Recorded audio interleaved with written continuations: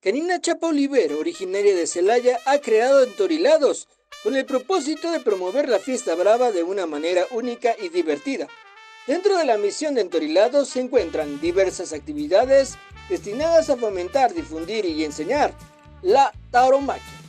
Con el objetivo de alcanzar esta misión, Entorilados ha desarrollado juegos de mesa didácticos, libros de actividades para niños, talleres, torneos, concursos de fotografía, así como diferentes secciones y proyectos de participación con los aficionados, reconociendo la labor fundamental de todos los amantes de la tauromaquia. Bueno, mira, mi pasión por la tauromaquia nace pues prácticamente desde que nací. Eh, desde que estaba en el vientre de mamá, prácticamente me, me gustan los toros y conviví en los toros. Vengo de una familia taurina en donde desde niña lo que vi fueron en casa de mis abuelos cabezas de toros, fotos de toros, eh, mi tío y mi primo toreros, conviví con ellos, prácticamente vivían al lado, entonces mi infancia fue estar dentro del toro y a partir de ahí pues lo veo ya como una filosofía de vida, como un modo de vida. Em, siempre les digo que mi vida gira alrededor del toro y con el toro y posiblemente para el toro, ¿no? Entonces es como nace la afición y cómo nace esta pasión, porque no se le puede llamar, y forma de vida que es el toreo. Mira, Entorilado se crea por una inquietud en donde siempre he tenido como el objetivo o la finalidad de hacer crecer y aportar mi granito de arena a la fiesta de los toros. Entorilado surge a partir de una idea de generar una serie de juegos eh, para explicar y para dar a conocer lo que es la fiesta de los toros, lo que es la tauromaquia.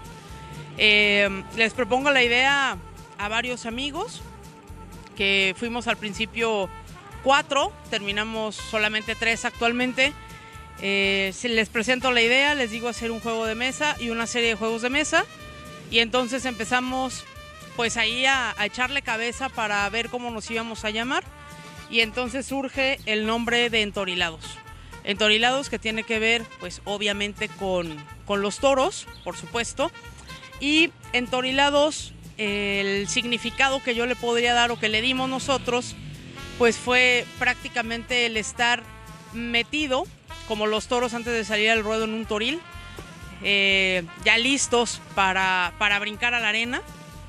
Y entonces es el significado, ¿no? Estamos metidos en nuestro proyecto estamos metidos en entorilados precisamente para saltar al ruedo y entonces dar a conocer un poquito de lo que se trata la fiesta de los toros. Entorilados ofrece una amplia gama de productos incluyendo juegos de mesa, un sitio web interactivo, un memorama, lotería y rompecabezas 3D.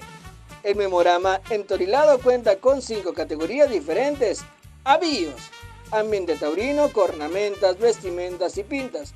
Cada carta está ilustrada y acompañada de su nombre y descripción correspondientes. La lotería entorilada consta de 58 cartas para cantar y 10 tablas para jugar ofreciendo una experiencia divertida y emocionante para los aficionados.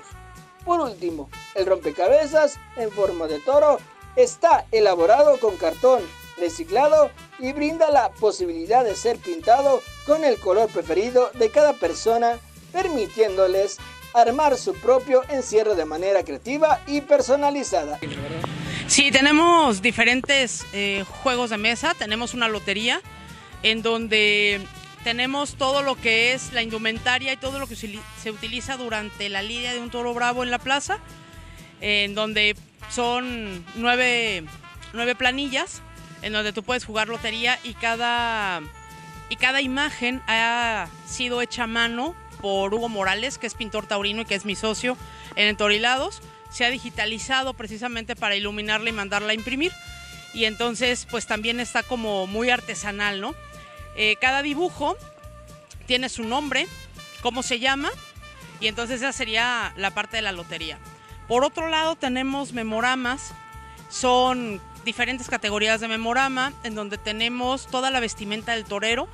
Viene el mismo dibujo de, Hugo Morales, pintor, que él se dedicó a hacerlo.